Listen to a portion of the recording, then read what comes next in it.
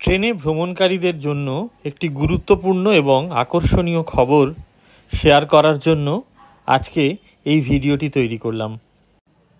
ভারতীয় রেলে যে সার্বিক উন্নয়নের পর্যায় শুরু হয়েছে, তারই অঙ্গ হিসাবে রেল বিভাগ একটি গুরুত্বপূর্ণ সিদ্ধান্তের কথা সম্প্রতি সামনে নিয়ে এসেছে। এখন থেকে পাঁচ ছয় বছর পরে এমন দিন আসতে চলেছে যখন ভারতীয় রেলে মাত্র দুই ধরনের রেক চালানো হবে, বন্দে ভারত ও এলএইচবি রেক। রেল কর্তৃপক্ষকে উদ্ধৃত করে এ বিষয়ে একটি আকর্ষণীয় খবর প্রকাশিত হয়েছে ইকোনমিক টাইমস পত্রিকায়। এখন ভারতীয় রেল লোকাল থেকে এক্সপ্রেস পর্যন্ত সব মিলিয়ে মোট আঠাশ ধরনের রেক চালায়। কিন্তু এত রকমের রেক রক্ষণাবেক্ষণ ও প্রয়োজনে সারাই করা খুবই অসুবিধাজনক এবং খরচ সাপেক্ষ।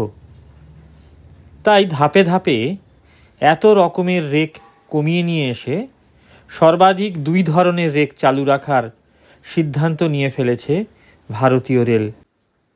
এর ফলে ট্রেন রক্ষণাবেক্ষণের খরচ অন্তত চল্লিশ শতাংশ কমে যাবে বলে আশা করা হচ্ছে।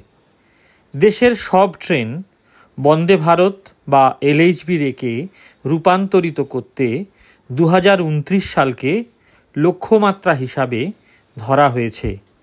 তখন এক্সপ্রেস থেকে প্যাসেঞ্জার সকল প্রকার রেলগাড়ির যাত্রীদের লাভ হবে এটাই যে ট্রেন যাত্রা অনেক বেশি নিরাপদ এবং আরামদায়ক হয়ে উঠবে।